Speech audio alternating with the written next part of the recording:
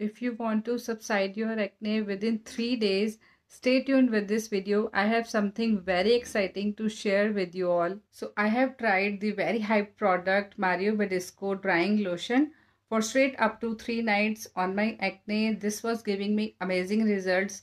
Let me show you in the video.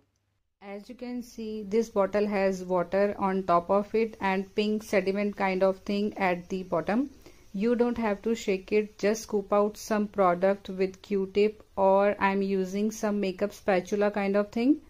Apply directly on the active acne after your skincare routine. Leave it for the overnight. Wash it in the morning with gentle face wash. It stings for 2-3 seconds.